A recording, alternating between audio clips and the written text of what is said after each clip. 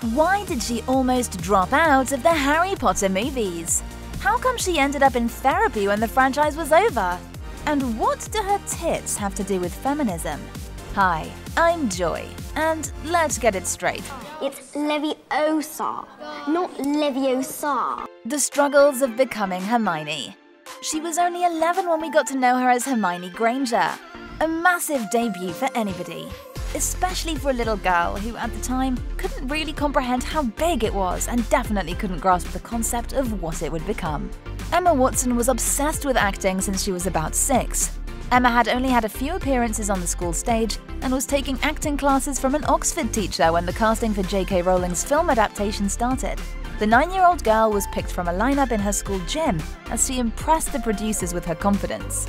But Emma still had to go through eight auditions before finally landing the part alongside Daniel Radcliffe and Rupert Grint. Though Joanne Rowling confessed she knew that Emma was perfect for the role right away.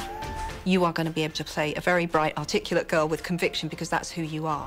It was just obvious that the little actress shared the same obsessive perfectionist nature that Hermione had, as well as a tendency to overdo things. My favourite line is I'm going to bed before either of you come up with another clever idea to get us killed, or worse, expelled. the first movie of the franchise marked the beginning of 10 years of worldwide success and adoration. With the release of each film, we watched Watson grow and her acting skills improve, as well as her army of fans expand and the numbers on the main cast's paychecks increase. By the way, Emma wasn't aware of her earnings and received only $75 per week from her parents. By 17, her net worth had reached $20 million. The teenager acknowledged she could afford to not work for a single day in her life and that she got the freedom to do whatever she wants.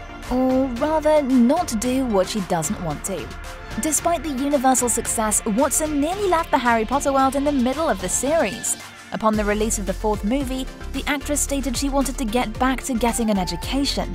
Besides that, she simply got tired of eating and going to the bathroom when she was told to, according to a horrible filming schedule. And signing up for the Order of the Phoenix would inevitably lead to starring in the rest of the upcoming Harry Potter movies. Thankfully, Warner Brothers knew they couldn't lose their Hermione and came up with more accommodating terms for Emma. Eventually, Watson admitted she could never let Hermione go. Alas, Success and fame at an early age always come with a price. For Emma Watson, it was self identity issues and anxiety throughout the different stages of filming in the series and afterwards. As a little girl, she let it slip during an interview that the flashes on the red carpet and crowds intimidated her. The cameras, the flashing, it was just scary. And as we know from her later interviews, the anxiety of being in public still hasn't left her. Due to the fact Emma wasn't experienced when she got the part, the vast admiration from the audience instilled another anxiety in her. As she got older, the actress became overcome with imposter syndrome, thinking that maybe someone else could portray the beloved character better. It got even worse for Watson when she came across some comments from viewers who thought the actress was overrated. Emma was 29 when she opened up to British Vogue that the guilt she felt about being gifted with the role of Hermione and everything that came with it forced her into therapy. I've wrestled a lot with the guilt around that. That's of, interesting. Of being like, I should be enjoying this more. Yeah, I should be yeah. more excited, and I'm actually really struggling. Watson added that she'd faced moments when it got so big that she almost had vertigo in her own life and felt disconnected. Then she would turn to family to get grounded, saying, There's a whole big existence and identity that I have that's really important and weighted and solid that has nothing to do with any of that. It was in that memorable interview that Emma Watson dropped a word that would become a huge point of realization for single people around the globe. But wait a bit till we get there. Let's first find out what happened to Emma after the Harry Potter movies were over. Re identifying Emma. Well, since then, the amount of adoration hasn't decreased much. The movies continue to gather kids and grown ups who rewatch all eight parts regularly, giving it up for Hermione. But Emma then faced an identity crisis as she realized it was not only the fans who'd been identifying her with her character for 10 years. The actress herself had done so, even before she was cast to play the young wizard, not knowing whether she would be able to play anything else or what she wanted to do with her life. Watson felt the strong need to redefine herself and started out with cutting her hair off. Post post Potter and post school. Um, I definitely want to keep making movies, but I just don't want to limit myself. There's so many different things I'm interested in. I just I want to I want to try everything. She decided to return to her studies and get a bachelor's degree in English literature from Brown University. Besides that, she did fabulous modeling for Burberry and Lancome campaigns and lent her name to a clothing line People Tree. Dame Vivienne Westwood herself awarded Watson the Style Icon Award from British Elle. Since then, Emma hasn't stopped her modeling and fashion endeavors.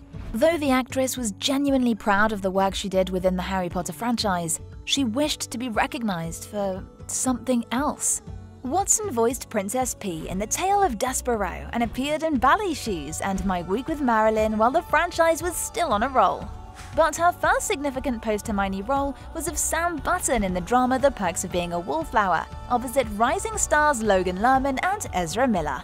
Two years later, she would work with Lerman again in Darren Aronofsky's epic biblical drama Noah, starring Russell Crowe and Jennifer Connelly. In between, the actress starred in The Bling Ring, receiving almost unanimous praise from critics for her portrayal of Nikki. Watson joined Seth Rogen, James Franco, and others in playing exaggerated versions of themselves in the apocalyptic comedy This Is the End. Remember her dropping that smashing F bomb?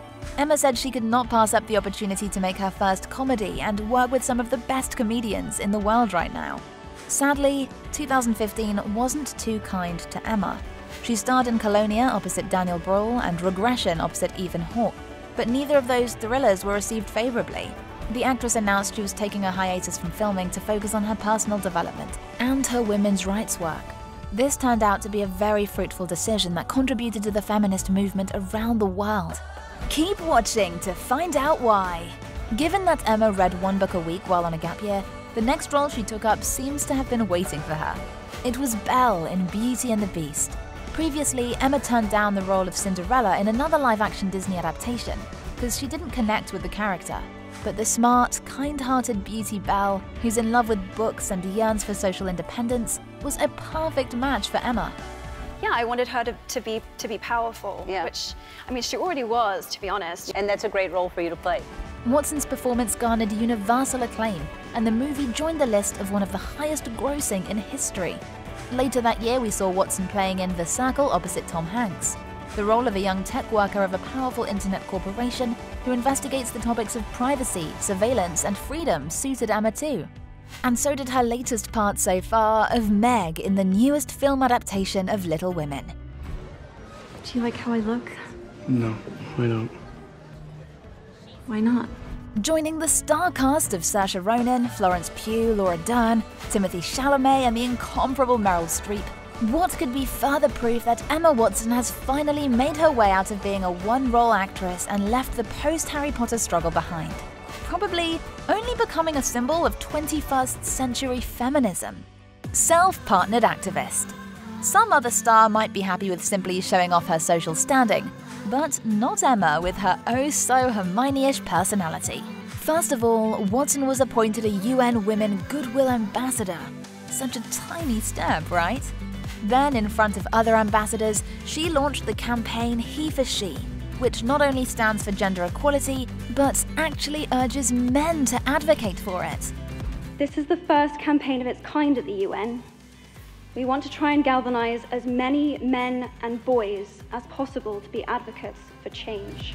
While nervously making her speech at the UN headquarters in New York City, the actress touched on being called bossy at 8 and sexualized by the media at 14, the understanding of what feminism actually is, and how man hating's gotta stop. I should be able to make decisions about my own body. I think. Instantly, the speech unleashed a flood of threats from haters. But Emma isn't one to back down. She responded, If they were trying to put me off, it did the opposite. Later, Watson was accused of becoming too feminist and shoving it down people's throats. What a surprise! Haters keep on hating. Who cares? Especially when a Nobel Prize laureate Malala Yousafzai reveals she decided to call herself a feminist after hearing your speech. The actress activist has traveled to Bangladesh, Zambia, and Uruguay to promote education for girls and the need for women's political participation.